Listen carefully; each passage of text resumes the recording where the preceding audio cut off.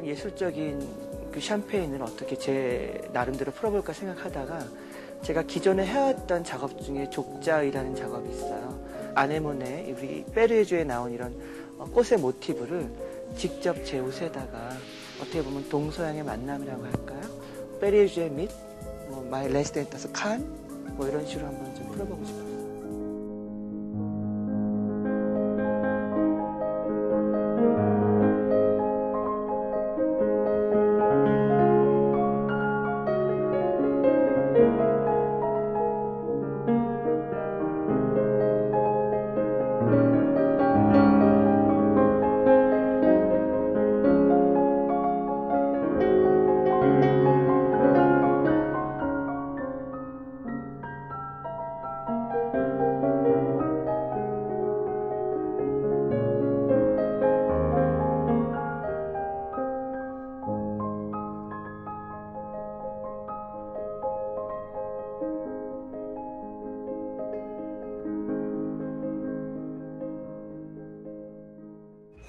화려하다 그럴까 그런 느낌을 잡아가지고요. 저는 여인을 주제로 해서 아름다운 여자의 그런 그 실루엣 아니면 그런 춤추는 모습 그런 느낌을 해.